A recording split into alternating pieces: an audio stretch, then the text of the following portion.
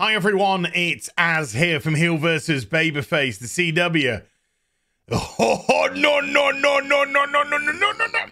We've had a lot of fun with that station over the course of the last few years. Why? Because they've been pumping out absolute woke garbage trash that nobody's watching. The proverbial nobody's watching. The ratings on the shows are catastrophically low. And we've seen shows already like Batwoman come and go. We've seen the former head, Mark Pedowitz. Well, an apt name for somebody in that line of work. Uh, pushing their not so secret gay agenda, pushing their wokeisms. The, the network has been an absolute disaster. And even though I know full well that I am an old, out of touch white man. I know that these shows aren't made for me. Doesn't stop me from poking fun and laughing at them. But unfortunately, the target audience that they want to attract aren't tuning in either. Because, oh, studio heads, people who run companies, directors, showrunners, we have shown, uh, we have seen over the last few years uh, an absolutely unapologetically um, unself aware display from these people that they think you're stupid. They think you're dumb, stupid, you are sheep, you are consumed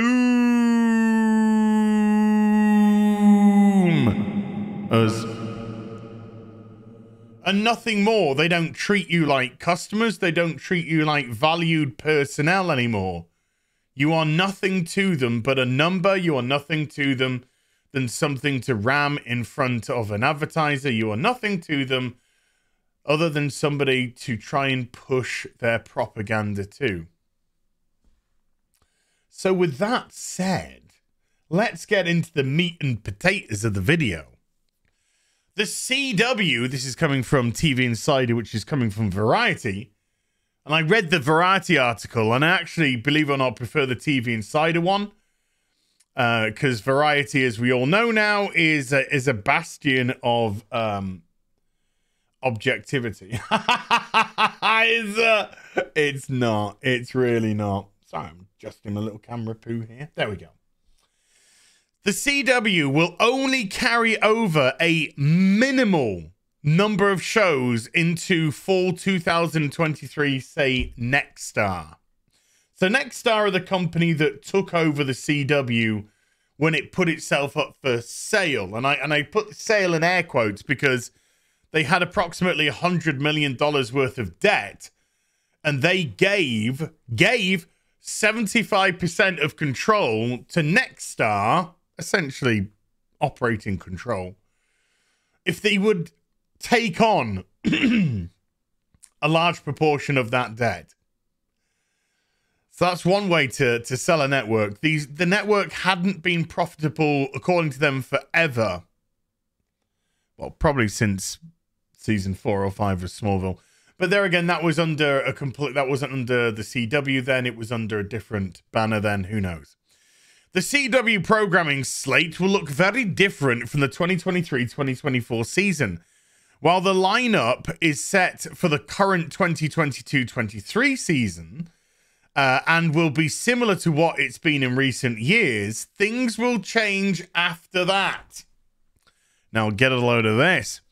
Over the course, this is quote, over the course of the next year, we're really looking to develop our to develop our slate which will then come online in 2023-2024 broadcast season. Nexstar Executive Vice President and Chief Financial Officer Liane Giller said during an earnings call via Variety, quote, we will have some carryover commitment for the CBS and the WBD programming in that year, but it's minimal at that point.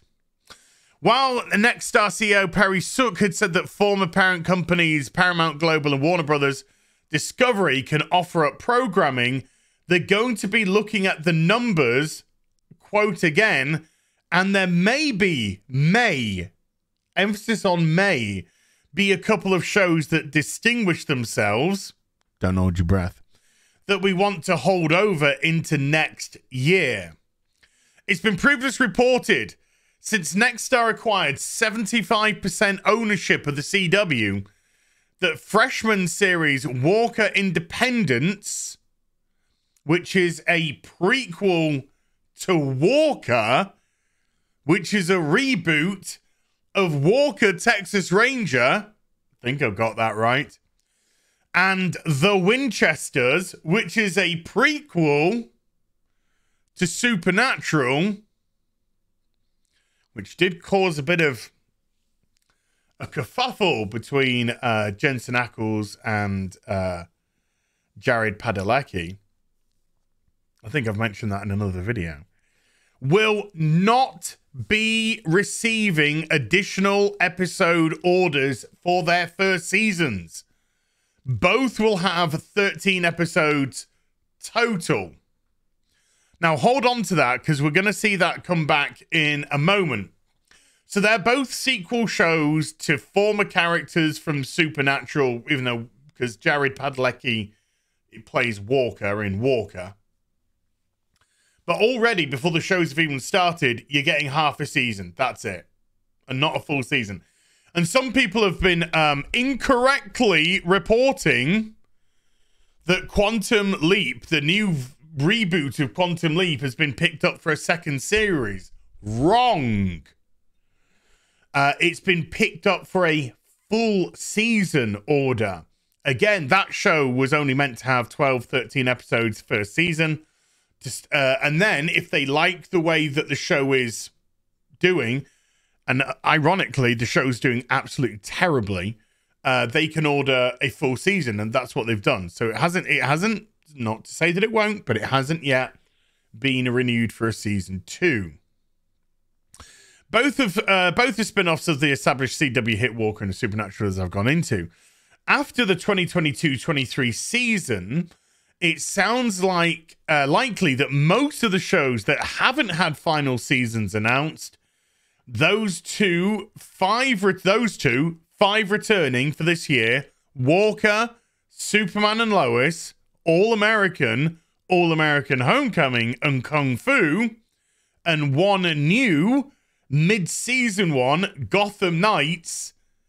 We know about Gotham Knights won't be back. So going back, Gotham Knights is coming in at a mid-season uh 13 episode order, I believe. Maybe even less than 13, but up to 13. Uh kind of like Naomi. Naomi was in and gone, and that was just absolute dog shit in itself. But it looks like uh, final seasons for Walker, Superman and Lois, All American, All American Homecoming, and Kung Fu. Ouchies. Riverdale and The Flash's final season uh, were both announced before Nexstar's acquisition.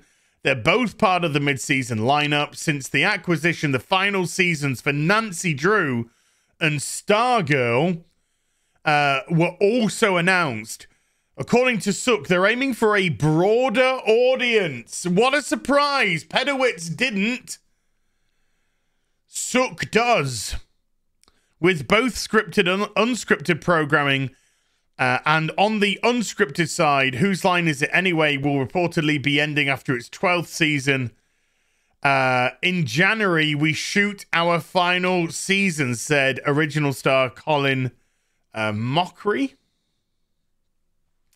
So it looks like Nexstar are done, are basically done with this this Paramount and uh, Warner Brothers shite.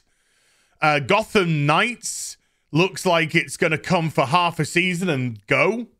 Uh, Superman and Lois, which I think's taken its third season, maybe fourth season, uh, gone. Walker is going to go. Uh, Walker Independence and the Winchesters, half seasons orders, and then probably gone. It looks like Nexstar have definitely big plans uh, for the network, and they don't involve the dross that we have had up to today. The absolute mitigated shite. And whose fault is that? Well, clearly by the fact that they pushed themselves $100 million into debt. uh, clearly by the fact that they lost uh, what was a good target audience for them, uh, judging by the fact that they tried to push agendas instead of entertain. The only fault it lays at is the CW itself and Mark Pedowitz. I'll see you in the next video. Take care. Bye for now.